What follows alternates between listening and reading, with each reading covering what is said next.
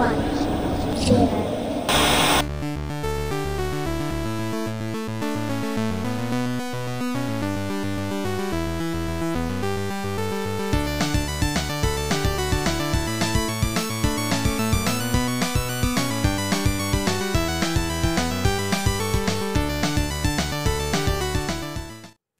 och välkomna till avsnitt nummer nio av Studio Bronx After Work.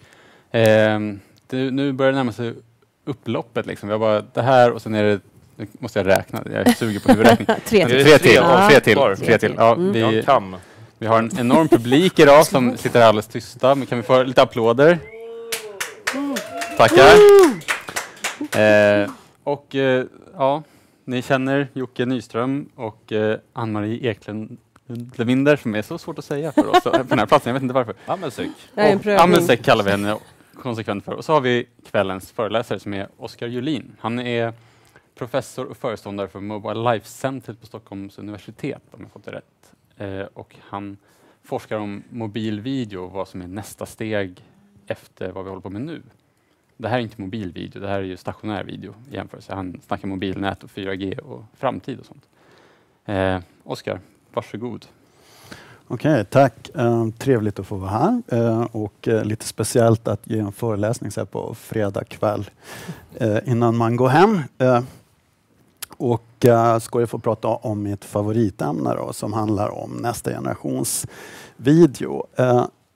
Lägger ni på min Powerpoint nu eller? Ska vi köra den? Det var det. Eh, jag ska prata om live eh, broadcasting. Och det har, live broadcasting har alltid varit en, en, en eh, väldigt omtyckt del i tv-produktionen och tv-tittandet. Att få titta på saker precis när någonting händer och ha den där eh, känslan av att man är där och ser någonting samtidigt som, som det pågår. Och ja, tekniken på det här området utvecklas ju hela tiden. Och då tänkte jag prata lite grann om vad som står för dörren, som vi ser det i alla fall på vårt forskningscentrum och i min forskningsgrupp. För det är ju så att eh, det där är ganska tunga apparater, live tv-produktionssändningar. Och det är väldigt få som har råd med dem, därför har vi public service-tv och i viss mån ibland också ja, kommersiella eh, tv-produktionsapparater, men det är väldigt dyrt. Och vi då i vår forskningsgrupp som jobbar tillsammans med industrin och industriforskargrupperna, vi såg ju redan ungefär vid 2006 att det började finnas en massa eh, möjligheter att strömma video direkt från mobiltelefoner upp på nätet. Ericsson hade ett system som kallades Mobile Reporter till exempel.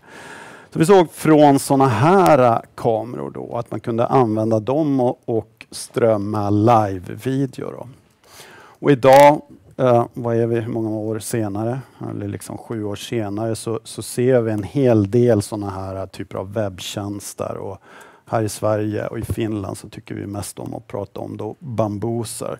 Svenskt-finskt företag baserat på ett exjobb som en eh, man gjorde, där han lyckades på något sätt eh, Han var här för två veckor sedan. Mm. Ja, ja, men jag tror att du, jag tänker på Martin som är ingenjör. Som lyckades liksom komma åt videoströmmen förbi, eh, förbi de här skydden som mobilindustrin hade. Och så började de kunna, han tillsammans med Måns och andra, då, börja kunna göra, bygga ett socialt media kring det här. Så här är mitt eget konto som vi tittar på när jag själv eh, broadcastar när jag röker sik uppe i Luleå skärgård. Favoritsysselsättning som jag har. Så det där då, uh, alltså 2006 såg vi redan det där koka som teknik då i labben på, uh, på de här industrierna. Samtidigt så var vi av lite andra skäl, för att vi har hållit på att forska väldigt mycket om att göra roligare att köra bil och, uh, och vara roligare i trafiken, så var vi och tittade på rally, bilrally. Uh, och vi var och tittade på det i uh, Wales, i Sverige och de här bilderna tagna från uh, Skottland. Alltså biltävlingar. Och fundera på liksom, vad, vad är det här för någonting och är det här bra upplevelse och kan man då hitta på några nya tjänster kring det här? Det är så vi jobbar väldigt mycket. Titta på saker som pågår och försöker fundera ut, kan, går det att göra det här ännu bättre? Jag vet inte om någon av er är rallyfans? Är någon här i studion? Nej, Anna Pensar som brukar vara här ibland och ersätta eh, Ann-Marie, eh, hon är ju till och med rallyförare tror jag faktiskt. Nej, Jag har varit kartläsare. hon är fortfarande inte special. rallyförare. Men, nej, eh, nej, nej! Hon är inte rallyförare. Nej, det är exakt det hon inte är. Just det, har- rally vi har- är de, bråkat de det här. skitiga vägarna Ja, och eh, det precis. hon kör är eh, racing, som Racing är på. Ja. ja, men det, asfalterade det, vägar. Det är inte samma. det är nog Nej. lättare. Mm. Är någon Off som, har, varit- topic. någon som har varit rallypublik? Ja. Nej.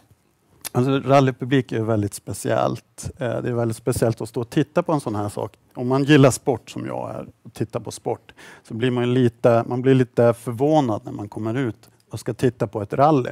Därför att när man ser rally på TV, då får man se ett sammandrag. Och så ser man en bil passera och så säger någon, här är ledaren, titta, ja, han kör jättebra, han kommer vinna. Och här är liksom förloraren och titta här, kanske blir något misstag eller någonting sånt. Eh, man ser inte riktigt hur fort de kör. Men sen när man kommer ut i skogen och tittar på det, då, då ser man hur oerhört fort de kör på de här smala vägarna. Men man fattar ingenting om rallyt. Rallyt är helt borta, så man vet inte om man tittar på den som vinner eller den som förlorar. Och dessutom får man se någonting i tre sekunder och så sen så, så får man stå och vänta i två minuter. Och när vi var i Wales så skickade de iväg, mitt på dagen så skickade de iväg fyrverkerier och så, och så några i publiken skickade iväg fyrverkerier och så var det några andra som vi stod bredvid publiken så, så sa de, varför skickar de iväg fyrverkerier liksom mitt på dagen? Och då sa någon annan, they fight their complete boredom. Det här är liksom en väldigt speciell, många skulle säga tråkig upplevelse. Men de jobbar väldigt mycket med digitala medier, publiken, försöker fånga de här eh, ögonblicken när bilen passerar. Som ni kan se en av de här killarna gör här på bilden längre ner där till vänster. Mycket med video också jobbar. Men det, det var då vi började få den här idén, men herregud, de här människorna som fångar, står där med digitala verktyg, med video, de borde ju liksom producera ett tv-program för sig själva. För de ser ju bara individuellt delar av det här och de ser aldrig rallyt. Tänk om de hade en produktionsapparat. Så några av dem så kunde man kombinera det och så kunde man göra en rallysanning som ska produceras och konsumeras där. Det var så våran, vårat intresse för det här området startade och vad man skulle kunna göra med den här tekniken, då, typ bambuser. Så i princip det här då. Här ser vi liksom en professionell tv-produktionsapparat där man normalt har fyra bemannade kameror. För en liten hockeymatch i, i allsvenskan så har man tre, fyra man, bemannade kameror och några fasta. Då. Sen har man en, eh, en mixer som sitter och ser allt vad som de här kameramännen producerar och väljer broadcast och hoppar från den ena kameran till den andra. Mixerborden ser ut sådär och så sen så har man en broadcastbuss. Det ser ut sådär. Jag vet inte om ni herrar har sådana. Det kanske har lite mindre. Ja, vi gillar ju att jobba utan buss. Vi Ja. I Visby på Almedalen i somras så körde vi en sån här, hund, eller en sån här cykelkärra som vi drog ut. Det var vår Ja. buss. Ja, ja men det är, det är bra så. Ja, Dramaten kanske är nästa steg. vi gillar det ag- agila sättet att producera. Ja, vi vill ha det ännu små, mindre. Då. Så för, vår, för oss var det då idén om att, att trycka in det här i en, en mobil plattform helt och hållet som, som, som kom upp då, som, som en slags idé, en de- designidé. Då. Ja, så vi har studerat väldigt mycket hur de här professionella jobbar, vilka features det finns. Eh, och sen så har vi utveckla en del prototyper kring det här. Och den, den första prototypen som vi har gjort, den, är, den kan man säga använder sig av att man har fyra mobiltelefoner och, och så strömmar man upp video. Och det fångar vi på, man strömmar upp över nätet och över 3G och över mobiltelefonsnätverken. Tas emot och sen kan man börja jobba med den här videon live i våran mixerenhet som vi kallar Instant Broadcasting System. Och den har sådana här features som eh, eh, ja, man kan kombinera liveströmmar med flera liveströmmar med förinspelat material. Eh, Kanske, det är sådana här små saker som intresserar er här. Man får Mm. prata om Ja, sådana här ja, detaljer. ja, absolut. Ja. Ju nördigare desto bättre. Ja, precis. Ja. Och smalt. Man kan också se, jag vet inte, jag vet inte hur jag ska peka här, men eh, man, det, det finns en feature där så vi kan Mm. göra replays för att, för att den är byggd så att man kan göra VJing med den här också. Så den har alla VJing-funktionaliteter. Och om man ska göra ett VJing performance då, då bygger det väldigt mycket på att man kan loopa små videosnuttar. Så vi har gjort en liten, ett litet verktyg som man kan ta av liveströmmarna som kommer in från folk då som står och dansar och, och liksom filmar det här liksom nattklubbsevenemanget och snabbt tillverka sådana här små loopar från det här som man sen då kan använda i sin VJing performance. Men man kan ju också använda den som här, som ni ser bilderna här nere, om man bara ska göra intervjuer eller någonting sånt. Det här, vi använder det på en festival som heter Ugn och Lotta här i Stockholm, så ungdomar använder det här för tv-produktion. Men kan man hoppa tillbaka i timelinen liksom också? Lite att man, bör, att man uppfattar någonting. För jag gissar att man har några rutor liksom som visar de olika videorna. Ja, den här lilla replay-enheten, Ja. den, har, den ligger med några, man kan välja vilken fördröjning man har i den. Så när man ser i preview-fönstren, är ni verkligen intresserade av Ja. sådana här Ja, detaljer? alltså, nej, det är det här som är Ja. intressant. Det är, Så att, eh, prata hårdvara. Ja, precis. Så att när man, då, ehm, när man ser i preview-fönstret då, som ligger med liten delay, då, vad, någonting, så, så ligger det med större delay i det här replay-fönstret. Så då kan man liksom enkelt hitta startpunkt och så välja slutpunkt. Ja, för det är ofta problemet när grejer är live, att man vet ju aldrig vad som händer vid ett givet tillfälle. Det är ofta så här, när man ser någonting hända, då är det för sent. Liksom. Ja. Då har man missat det. Så att det, Ja. Då Ja. är det perfekt. Du måste Alltså- veta att du är i geekhimlen nu, Ja, så det är bara ja, att gå på. ja. Men då måste jag få fortsätta att berätta. För när vi studerade, när vi studerade professionell tv-produktion så började vi med att titta på Åsa då, som är eh, mixer i och TV4 här när de gjorde Allsvenskan. Och så var vi i TV-bussen och tittade på videofilm och hur arbetet går till, hur de samarbetar med varandra. Det är extremt intrikat det här samarbetet i en produktionsenhet som, som jobbar med live. Så satt det en tjej bakom ryggen på oss och så började vi, vad är det liksom hon gör? Hon gjorde de här repriserna. Så då, när vi hade skrivit igenom och liksom gjort studien av livemixning så gick vi tillbaks och började titta på, hur, på det här med repriser. Hur är det möjligt? Hur är det möjligt att göra reprisproduktion i, i, i livesändningar egentligen? Alltså, man, man, det är, man börjar tänka på det, det är helt fantastiskt hur de hur de, alltså det är som, jag menar i video, om man tänker på video så är det antingen liksom post production, man gör saker när saker inte är live. Och då sitter man och editerar och väljer kameror och sånt. Eller sen så gör man livesändningar och då hoppar man från en kamera till den andra. Om de finns i korsningspunkten, alltså Mm. eh, replayproduktion finns i korsningspunkten. De jobbar med post production med extrema tids, tidskrav. Och om man studerar det där närmare då kan man se hur mycket de hjälps åt. Man tror att det är en person som gör det bara för att det är en som sitter men de får otroligt mycket hjälp av hela eh, arbetslaget för att göra det här möjligt. Och det var helt fantastiskt att se. Ja. Jag skulle vilja summera verktyget. Men, ja, för, Ja, ja, eh, ja men vi, vi, vi, ho- vi hoppar det här verktyget. Ja, jag kan bara visa det här. Så alltså just den här att den, är, att den också är tänkt att ha att kunna göra eh, VJ-effekter med. Då. För att det gäller ju att hitta den här, den här nya typen av teknik. Den kommer ju inte bara hamna och göra precis samma sak som vi tänker oss professionell tv-produktion. Det spännande med det är att försöka se och hitta vart den kommer slutgiltigt hamna i vilka typer av verksamheter. Så sånt tycker vi också är väldigt roligt att tänka oss vilka typer av användningssammanhang får vi för den här nya tekniken? Så det höll vi på med VJ. Sen har vi gjort en väldigt nedskalad version av, av en live-mixer som då funkar bara på mobiltelefoner. Där återigen, det är fyra strömmar.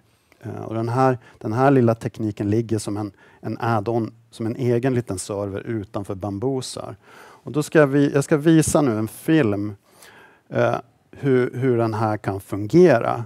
Och det, och det roliga med den här filmen är att det är den klassiska Train coming into the station som är den liksom klassiska i, för alla som har läst filmvetenskap och sånt. De tycker det är roligt.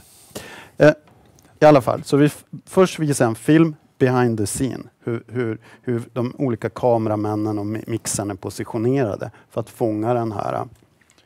Bara en fråga, har du ljud i den här filmen? Nej, jag har inte ljud i den filmen.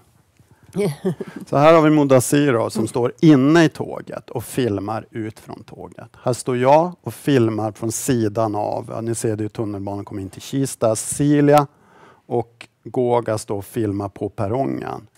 Och här kommer vi se, här står Arvid och han har mixen. Och nu kommer det gå väldigt fort. Så han ser fyra fönster där och en liten röd ruta runt det, den, den som är live.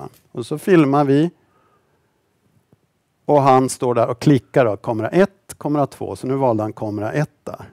Så han bara klickar på tangenterna och så väljer han med såna här, det som heter straight cuts då, från en till en annan.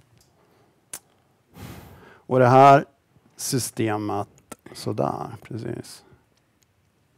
Det här funkar bara på 3G då. Och, och, och det där ni såg som Arvid höll, det är, som en, det är mer som en remote control så för systemet. Och så här blir slutresultatet då med, med 3G, 3G-filmade saker. Utan ljud. Då. Men ni ser ju då att, att ni kan tänka, ja, då kan man tänka sig var ska man använda det här? Ja, men vi tänker liksom men föräldrabröllop eller föräldrar som står, fyra föräldrar som står astråkigt vid barnens 51 fotbollsmatch. De kan ju göra en, en, en, en, en, en ganska enkel sanning men där man kan börja arbeta med bildberättande. Men det, alltså, det var inte ens en smartphone han mixade på va? Nej, det är en Symbian. Ja, Symbian. det är, tycker jag är ganska häftigt. Mm. Alltså det, ja, tekniskt sett så packar vi ihop, vi packar ihop, det är inte fyra strömmar som man tar emot utan det är bara en ström. Sådär. Så det där kan man tänka sig då att, att, att man kan börja jobba med en annan typ av bildberättande med den här tekniken. Och det, det, tror vi är väldigt nödvändigt för det här att bara ha en kamera. Och det tror jag ni själva ser också även i den här sändningen. Hur, hur ni jobbar med flera kameror och mm. också med annat material. Jag vet inte, ja, nu är det jag som ligger där, men så hoppar ni till min PowerPoint-presentation och sådana saker. Så att just det här kombinera visuella medier är väldigt viktigt när man ska berätta någonting. Om man tittar på, om man tittar på det bildmaterial, det videomaterial som finns till exempel på Bambuser eller Kik eller Flixwagon så är det Alltså det, folk kämpar med att förstå hur de ska ha någon nytta av det här. Det, det är inte alls självklart att, att uh, live-video kommer bli någon slags succé som socialt media. Och det, så det behövs en del verktygsutveckling. Det behövs annat också, men verktygsutveckling är en del av de saker som behövs. Men just mobilmixning är ganska intressant, liksom att man klarar av att göra det på, på, bara på ett device, för att det gör ju allting mycket mer mobilt. Ni, ni mm. använder ju, vad är det ni använder för verktyg för att bildmixa? Wirecast, men det är inte mobilt. Ja. Nej, precis, Alls. utan det är ju desktop-variant och, och mm. ganska dyrt dessutom. Nej. Inte. Ett par tusenlapp. Ja. Mm. det är ju jättedyrt, eller hur? Mm. Konsultlön Jämfört med en buss. med en buss så är det väl avsevärt mycket mm. billigare. Ja. ja. just det.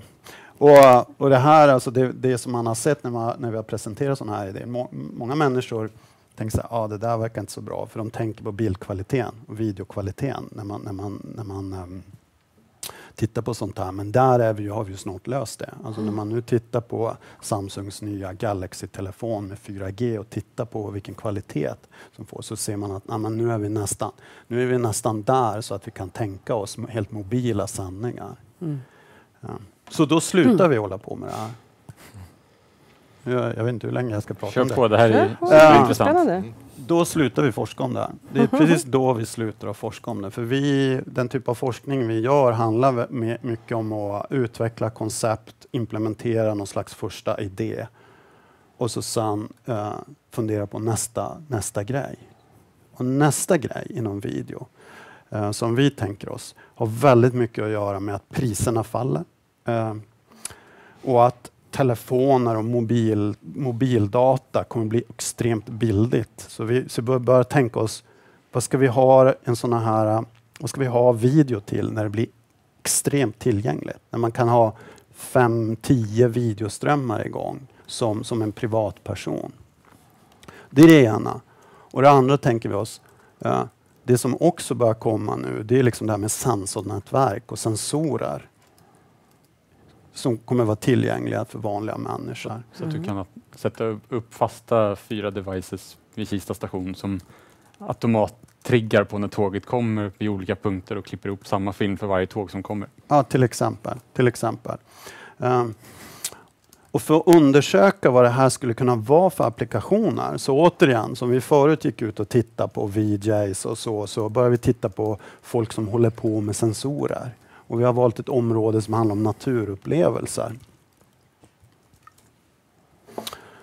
Och, eh, Det, det, det kommer. Alltså, låt oss titta där nere i vänstra, nedre vänstra hörnet. Där ser ni en bild i svartvitt från en skog någonstans med en apparat som, eh, som ger ut mat, tror jag. I alla fall det är så kallade åtelkameror. Alltså det finns Mhm. tiotusentals åtelkameror i, i svenska skogar där folk lägger ut mat så vildsvin och älgar och så ska äta så att de ska växa sig feta och sen ska de skjuta dem, för det är oftast jägare som gör det. Men i alla fall, de lägger ut mat. Det jag tycker är jättekul. De lägger ut mat, jättemycket mat. Och så kommer de tillbaka en vecka senare så är det uppätet. De blir förstås otroligt nyfikna. Vad är det som pågår? Så därför använder de väldigt mycket kameror av olika typer. Videokameror, vanliga kameror med en sån här, alltså en sen- proximity-sensor. Så att när det händer någonting framför en så tas det en bild. Så det kan ni googla på alla tittare eller lyssnare eller vad ni är på den här sändningen. Åtelkamera. och, så, och så på bilder. Åtel, det är så här jaktbegrepp. Att man åtlar. Med, Åtelkamera. med Å. Mm. Å-T-E-L. Tack. Man lägger ut en liten sån, ett lock, eh, vad heter det? Ja, ja. Så. Man lockar med.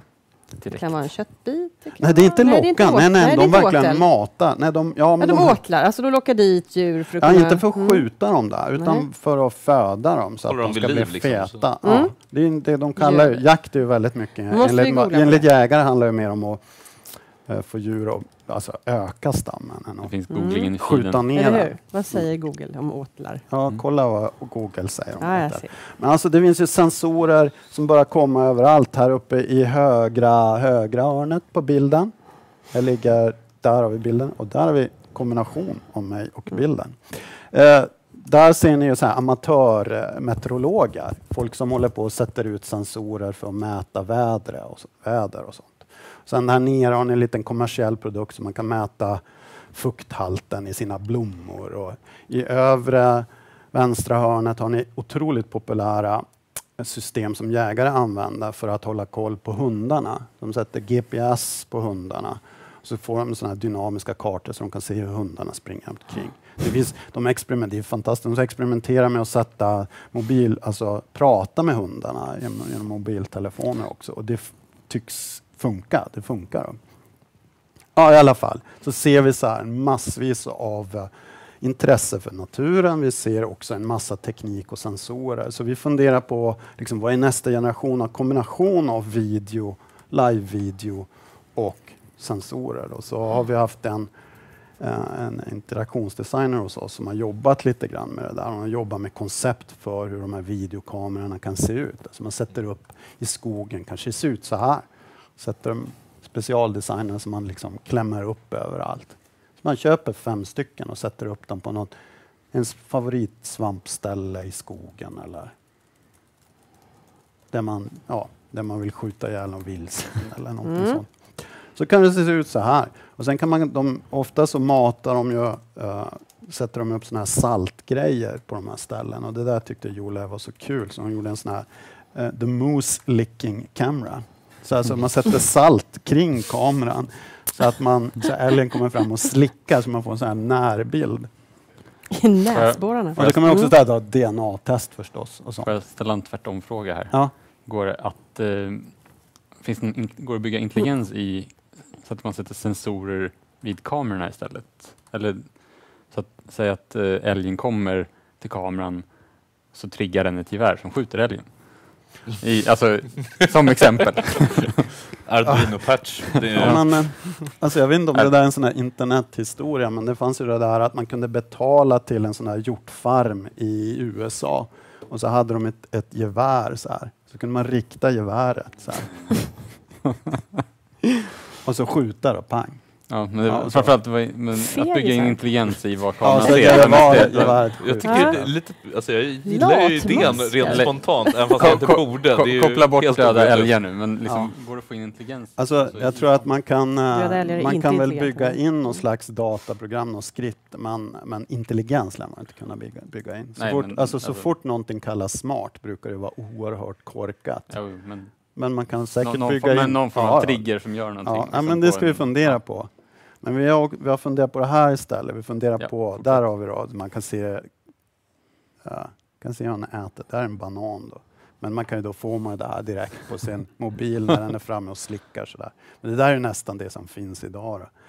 Vi funderar på liksom kameror som man kan skruva ner och titta på uh, underjorden, då, liksom, uh, insekter och sådana saker. Uh, lite olika sådana saker. Men för att summera det här, alltså summera, så, så börjar vi också experimentera med kombinationen av live-video och sensordata, hur den ska visualiseras, alltså hur man ska eh, använda det här data. Så då kanske man har det här. Jag, jag skulle, inte få, jag skulle inte vilja ha Kista entré hemma hos mig, men till exempel då när jag från min stuga i, i Luleå skärgård kanske jag skulle vilja ha fem eller sex eh, mobil videofeeds och kopplingar till min väderstation där. Eller Alltså man kan sätta, man kan sätta töj, töjningsgivare i jorden så man ser om jorden torkar ut om det är en, en, en väldigt torr sommar. Eller man kan sätta kamerorna bredvid blommor och se hur de växer. Så plantor som man gillar. Ni ser uttråkade ut. Nej, ni är så här urbana, ni är så här urbana människor. min, min hjärna går i 190. Ja, ni kan Jag- säga- ni är jag- så här jag- jag urbana, att men jag, ni jag kan vill ha ett tänka- abonnemang på de här. Jag vill ha liksom tio stycken i veckan som jag kan Ja, placera ni, på ni, ni får tänka på era egna ställen som ni Ja. gillar, om det då är någon klubb eller något annat. Ungt och trevligt. Men jag skulle vilja ha min, min stuga i alla fall. Och då, kunde man, alltså, då, kan man ju, då kan man till exempel, det här är bara en första alltså, visare hur man kan använda, om ni tittar på vinden, windspeed, där nummer två går upp från 3 km i timmen till, till 12, så kan man liksom filtrera, förstås, det är ju så vanliga grafiska Gud, läckert. effekter, filtrera det här och göra grafiskt snygga representationer av vad som pågår. Så, så, så sammanfattningsvis då, så, då, så handlar det om att, att, att försöka utnyttja och tänk, försöka tänka sig en framtid där mobil live-video är extremt billigt och kombinera med annan typ av teknik. Och tänka sig vad som är, för oss då, konsumentprodukterna av det. Och vad, vad det kommer att finnas för tjänster kring det. Så att, eh, det är det andra. Det var, det var det andra jag ville säga. Det första var det där med samarbetsstöd för bildberättande som jag tror kommer vara väldigt betydelsefullt för att live-video ska bli ett socialt media.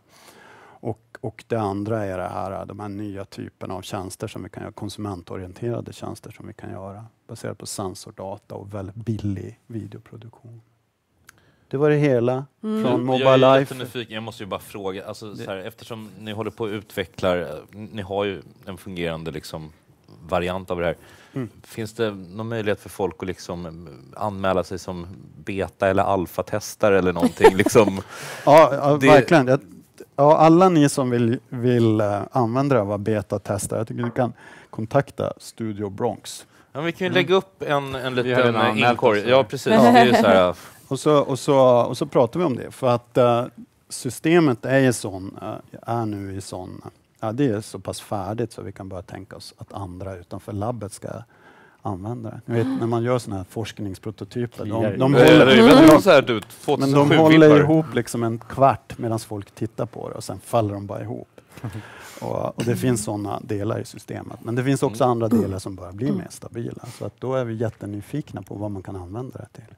Jag måste bara, som, får jag bara också ställa en liten fråga då, som Ja, nu vaknar ja. säkerhetsmänniskan i mig. Så här, Ja. Får ni aldrig några frågor om det här med integritetsaspekten på det här som man lägger ut, kombinerar och pusslar ihop och människor är kanske omedvetna om att de blir inspelade och eh, liksom, hur hanterar man det? Rent? Eh, ja, men det är ju, ehm, det är ju relevanta forskningsfrågor, men Mm. ingenting vi ägnar oss Nej, åt. We just Fine. sell guns, we don't shoot people. enough. Jag accepterar det, inga från problem. Twitter också, eller även från soffan här, Rasmus som sitter här. Han eh, undrar liksom, när man klipper från flera kameror, är det, skickar den telefon som klipper ut eh, sändningen eller är det, sker den liksom på mixen? Det senare, Ja. alltså det är som en, alltså all mixning och sker på servern och, Ja. och telefonen är som en remote control bara. Ja.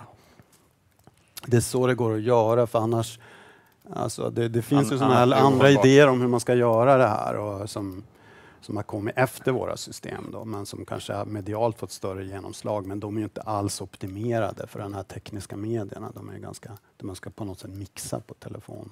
Men bara för att samla upp lite så här. Eh, det du egentligen säger med första med lösningen, liksom med mixen, det är att Mm. man kan, om jag är på en konsert, liksom, så kan Ja. jag, då kan jag kolla, göra en sökning på Bambuser och se att ja, men här är tre andra som sänder härifrån. Ja, de har skönare vinklar än jag. Ja. Då producerar jag en sändning av deras innehåll. Liksom. Eller, måste, eller måste man liksom jacka in i deras och få tillåtelse? Eller går det... Ja, det, men det är en intressant fråga. Den där frågan får vi väldigt mycket för att folk tänker väldigt mycket på, alltså när man tänker på video så tänker man video som ett socialt media och då tänker man på sån här crowdsourcing. Mm. Åh, det finns så mycket och så kan man börja göra det med det. Men video är lite speciellt.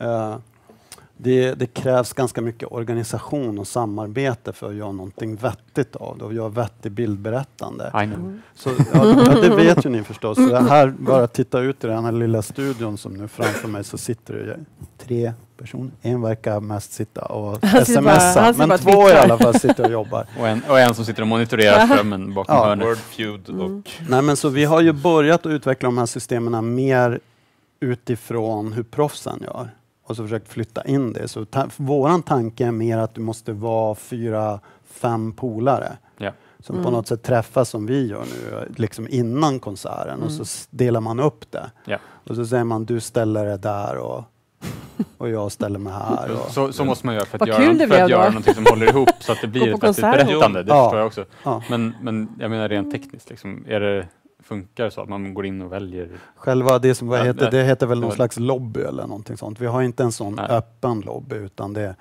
det, just nu är det hårdkodat. Så. Okej. Mm. Jo, vi fick en, en relevant fråga från, från Rasmus än en gång här i soffan. Eh, Ja. som, eh, han tog upp, eh, ett av de större problemen är ju att ljudet fortfarande är ganska dåligt när det kommer till mobiler. Ja. Men finns det, finns det möjlighet att liksom separera ljuden från vissa videos och sen så... ja, det finns det i vår mixer. Mm. Ja, det finns en sån ljud, ljud eh, precis. Då kanske Så man- man vill ju alltid ha, man vill ju ofta ha, det lärde vi oss av proffsen igen, man vill ju ha lj- ljudet från ett ställe. Mm. Mm. Så hoppar man mellan bildvinklar, man vill ju verkligen inte hoppa mellan ljuden. Nej, Mm. precis. Man får så här... Det blir rörigt. Nej, det Ja, blir vi- fullständigt. Men skulle man kunna ta andra källor än just liksom video? Eller ja, att det man kan har en man ta. extern audiokälla och sen så typ ta synka Ja. det på något sätt? Mm. Just ja. det, det kan man ta. Okej, ja, Det men kan det... man Det här är extremt spännande. Ja. Alltså, Mm. vi, vi har pro, eh, promotat eller liksom så här predikat det här med thinkcasting ganska länge, som vi har döpt, döpt det till. Vad är, vad är det för någonting? Motsatsen till broadcasting. Alltså Ja. man gör en livesändning, men Ja. istället för att nå ut till den breda massan, liksom att det är Mm. Melodifestivalen som går ut Ja. live, så är det liksom att det är liksom symaskinsträffen i Luleå Ja. pensionärsklubb som, som har en sändning från sitt möte. Liksom. Jag vill inte sänka Studio Bronx, men... ja, eller, eller, eller, det här. Liksom. egentligen. Men det är liksom alltså, här, extremt nischade grejer Ja. kan utnyttja teknologin Mm. för att göra bra grejer. Mm. Men vi, vi har ju tagit det till en nivå när vi gör det på ett professionellt sätt, fast vi Mm. använder extremt mycket slimmare medel liksom, för det. att ja, men göra det mer tillgängligt för Mm. vem som helst. Just det.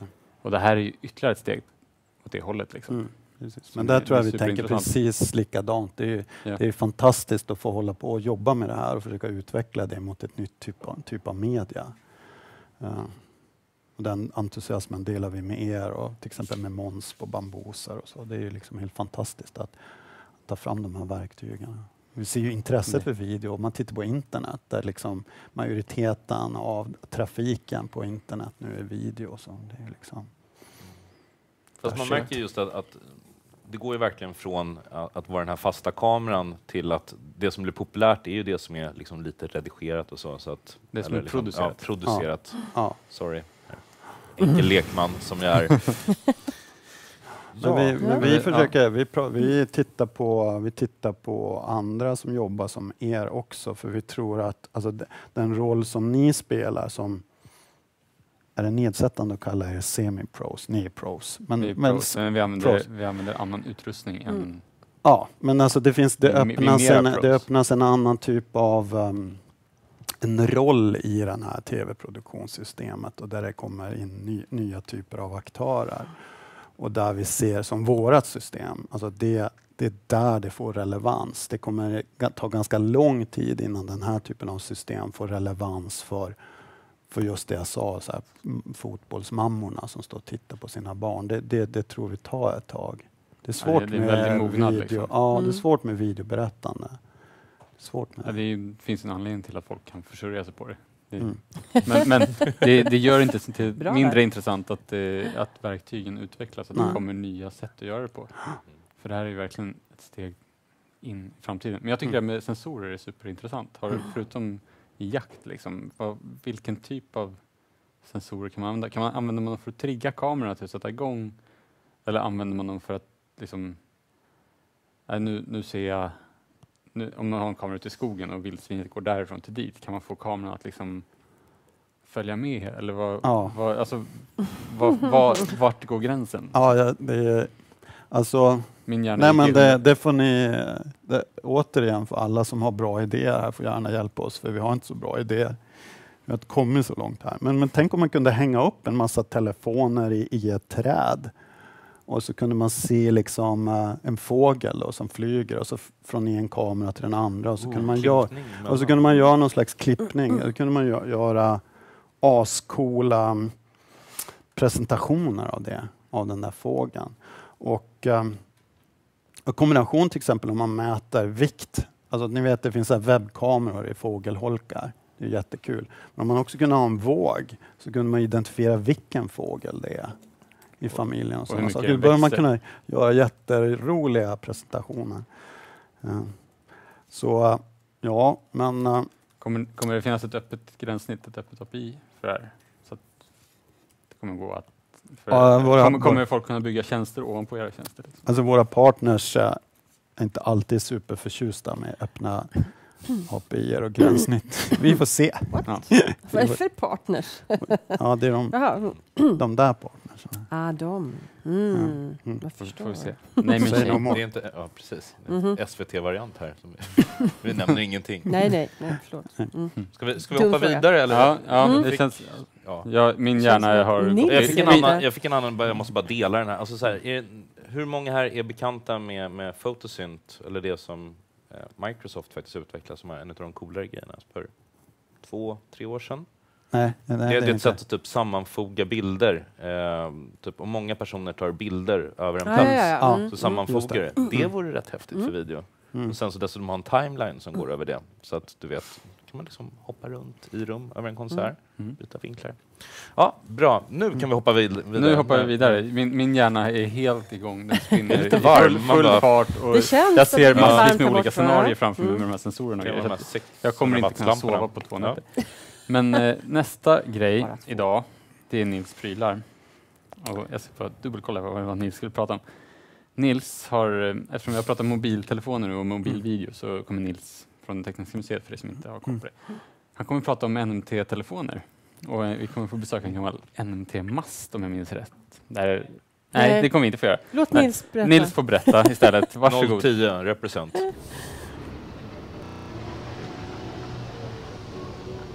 Det är dags för ännu ett avsnitt av Nils prylar och jag står här på Tekniska museet, den nya utställningen 100 innovationer med världens häftigaste vägg bakom mig. Däremot så har jag ingen Nils här som vanligt.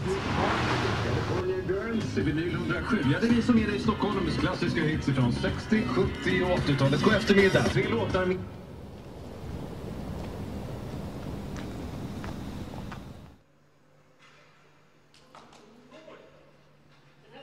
Ja, jag kommer!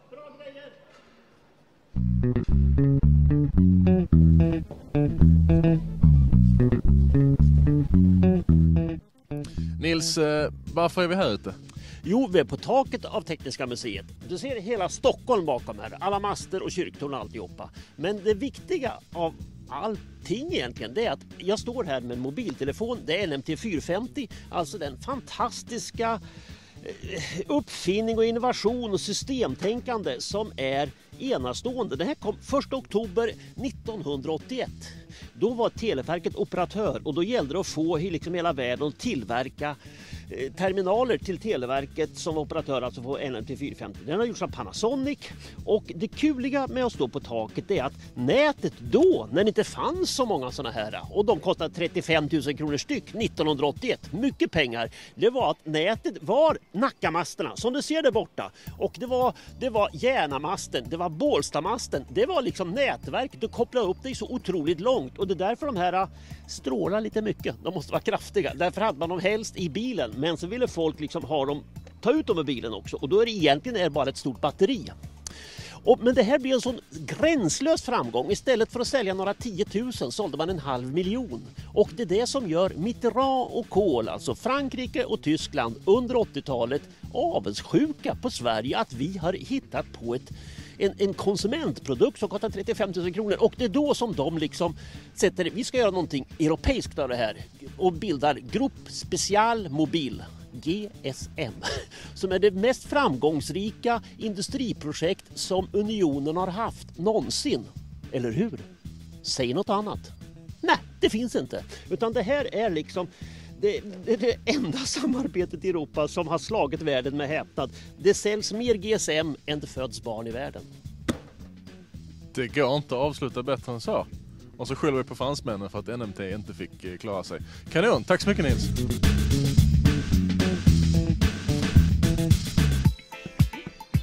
Det här, det här, Otroligt. det här var det bästa Nils Prylar hittills. Ja, det säger vi varje gång, men det här, ja, det blir, ja, men det här det här var- går det från var klarhet till klarhet. Mm. Man, man har ju hört talas, alltså, varje gång man har pratat gamla grejer så är det alltid någon som kommer med det här. Bara, ja, men min pappa han hade, en, eh, han hade en sån här telefon som var stor som en hel resväska. Och så, alltså, den, den historien kommer alltid. Liksom. Mm. Känner du igen det? Ja, min mamma hade Ja, en ja, i min pappa- bilen min- min som pappa hade eh, en. stängdes av när man åkte Ja. på gupp. Ja, men, Så, nu har ja. vi fått det avklarat. Hur många har haft en. NMT-telefon här? Ish, jag snodde min mammas. Ja, ja, ja. Mm. Ja. Låna. eh, ofta. Den här är, nu fick vi mer historia bakom den. Det tycker jag var 010. roligt. Ett- Och ni klagar på batteritid idag. Jag kan berätta att trots detta stora batteri så var batteritiden inte imponerande. Det var inte många samtal där, nej. Nej, fast vi Mm. hade större muskler. Men vi hade mycket större muskler. ljudkvaliteten. Ljudkvaliteten, Vilken? mycket bra. Eller vilket då? Ja men det var ju jättebra, då kunde man alltid säga det. Ingen täckning här. mycket Nej, svårare och svårare för varje år att komma med den ursäkten. Men det var, det var får lite hitta på mer, nya. det, om jag minns rätt, jag pratade in några gånger och jag var ganska ung. Eh, men det var lite mer så här analogt. Det var liksom lite som LP-skivor. Att eh, om det lät alltid någonting, eh, men ibland var det skrapigt. Det var, det var, det var, det lite, var liksom inte det här. digitala att antingen är det ingenting och bara blankt eller så är det perfekt. Utan Men det var i alla fall liksom- inte halvduplex. Vi behövde Ja. inte vänta på att den andra hade pratat färdigt. Och det gick ju faktiskt att prata som Det var inte radio menar du? Nej, eller satellittelefon som var... Mm. Ja, Oskar, du räckte inte upp handen. Ingen NMT. Det var GSM från start, eller? Mm, ja, jag tror jag skaffade min första telefon 97. Jag var fattig doktorand så att jag Mm. hade verkligen inte tillgång till det. därför- bakelitelefon. Alltså, ja, alltså min, min pappa jobbade på Televerket sedan han var 18 år så vi har haft på 60-talet var vi bland de få som hade flera telefoner. Det är jag ganska stolt över. Då hade ju var, varje familj bara en telefon. Jag trodde du skulle säga mobiltelefon. Jag nej, bara, nej, nej, nej, nej, nej. sett Ja. framtiden innan Och då hade en av de telefonerna var en bakelittelefon. Ja. De luktade gott, kommer jag ihåg. Och jag, satte, jag har fortfarande en och när jag skruvar upp den, den är bakåtkompatibel med AXE-systemet. Så att man kan slå femman på en gammal bakelittelefon och ställa sig i kö, eller kunde det. Det, är, rätt- det är rätt få telefoner nu som går med på det, det. har jag glömt. Ja, Ja, det var ju back in the days. Det var ju häftigt. Mm. Ja, coolt. Mm. Och, Härligt. jag, alltså, jag måste ju bara fråga, nu när vi ändå har dig här. Eh, vad, vad ser vi för mer trender? Vi kan ju inte bara prata video. Det händer ju så mycket mer. liksom, kan vi inte bara få fem godbitar och kasta åt oss? Vi är hungriga. Hur ser det ut? RFID, när kommer det ut liksom brett till Ja. RFID-läsare? RFID, okej. Fråga gillar det. RFID, alltså jag tror att det finns, eh, det finns, det finns ett antal eh, Eller liknande? Jag tror liksom. att, att modemänniskor, alltså den, den visuella estetiken kring eh, telefonen och dess koppling till liksom hur interfacen kring telefonerna kommer utvecklas väldigt mycket. Alltså, det här som nu är så här böjbara skärmar och sånt. Mm. Det, det, det är början på, på ett sätt att göra mobiltelefoner som återigen är, blir intressanta för modemänniskor. Det har liksom, vi har tagit ett steg bak visuellt estetiskt med mobiltelefonerna. De är- Uniform, alla har Ja. samma... Eller hur? Mm. Ja, det här är jättekul. Det här är jävligt roligt. Alltså för en modemänniska så, så är det den här sidan som syns utåt. Om man tittar så här, titta här. Den här sidan är liksom framsidan och det här är baksidan. va? Eh, Men för, för datorindustrin så, så är det här framsidan. Och det här baksidan, det kan man se framförallt på en, en iPhone som har de här produktmärkena och så. På baksidan. Det är ungefär det som är under på en dator. Visar Mm, det de samma så. det, Det måste vi anledning- ändra på Ja, och det, det- kommer man att ändra på. Så den här sidan blir mycket mer intressant och interaktiv och också formmässigt och sånt. Så Mm. det tror Fast hur ofta är det man ser den egentligen? Det är väl det. bara om man lägger ner den. Jag tänker Apple är en av de få som tänkte lite smart Mm. där och satte, satte äpplet åt rätt håll. Mm. Alla Ja. andra hade ju sin logo liksom så att det såg rätt ut när man stängde igen Ja. datorn. Sen Mm. var det upp och ner för alla Ja, andra. ja. Precis. Ja, ja. Ursäkta att jag kritiserade. Nej, nej, nej, absolut, nej, nej, absolut får man Men, kritisera äh, Apple. Apple. Men, men, det, men det finns oerhört mycket mer att göra och det kommer att hända mycket med själva med formspråket kring, Mm. kring telefonerna. Ehm, Så, så det Kanske är kan en svara på ryggtavlan hos den som står framför dig på bussen så du slipper dra upp telefonen. Ja, det tycker jag. Ja, men lite så här Six Sense med en liten projektor. Det verkar i och för sig... Nej. Ja, jag vet ja, nej, om det kanske. funkar. Nej. Nej. Nej. Nej, vi glömmer det. Jag skulle vilja ha så voice blocker så att jag kan liksom, få en egen liten röstbubbla där jag pratar. Liksom, Mm. Så att den stänger ut annat ljud och jag får, en- Alla andra hör någonting bara konstigt. Ja. Mm. om man är utanför den här lilla sfären, där, om jag håller micken här ute så hör de inte, om jag håller micken här så funkar det. Men eh, tack för allt och eh, återigen till era tittare då. Det är ju bara att skicka in sådana förslag så kommer vi bygga dem i Mobile Life-centret. Det gillar Gud, vi. Åh, det är som tomten.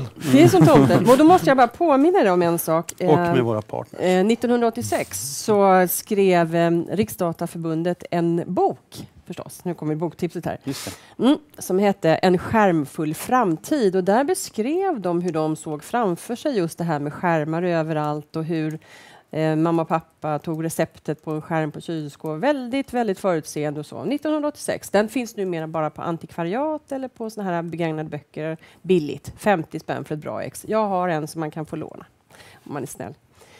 Det var mitt boktips. Det var boktipset. Mm. Du har alltså ingen bild på det, för den är så Nej, analog den här precis, boken. den, den är så analog så den finns bara på papper. Då har vi boktipset avklarat. Mm. Ska vi kalla det en dag, liksom, det här?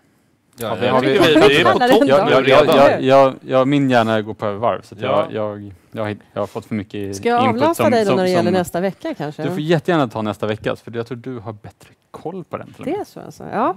Jan Kallberg kommer hit nästa vecka. Och han är en svensk-amerikansk forskare. Han har doktorerat vid universitetet i Texas. Eh, han har disputerat i offentligt ledarskap. Han har läst juridik. Han har varit reservofficer, varit väldigt kritisk mot det svenska försvaret. Han har skrivit böcker, han är frispråkig, öppen, ehm, härlig att diskutera med och har väldigt starka Och åsikter. vad ska han prata om? Det är ju en intressant fråga. Det vet Petter. Hans, Det kommer en det bloggpost kommer en om det här om det. Eh, på Jag tror måndag, att, så här, jag, Petter. jag är övertygad om att det kommer att röra sig rätt mycket om hans senaste bok som heter eh, Internetframtider och som beskriver lite om internet 2030 och vad som kommer hända framöver. Kanske lite RFID. Kanske lite RFID, vem vet? Vem vet? Jag vet, jag vill bara döda QR-koderna. Det, är- Ja, det kan vi göra det? Kan vi enas om det idag? Så här, Ja. Använd inte QR-kod. Någon. Sluta. Ever. Sluta. Om, om man inte kan ha en sensor någonstans. Ja, tryck det på toalettpapper. Det är kanske där man får användning för det. Mm. Ja! Ja, eh, det, ja. det blir bra. Mm. Vi tackar så mycket för dagens Tusen eh, tack. Själv, jättemycket. tack. Insikter. kanske. Tack Det var själv. fantastiskt kul att höra. Woho! Och tack så mycket Ha det bra, trevlig helg! Hej då! Tack för hit och tack för att ni tittade.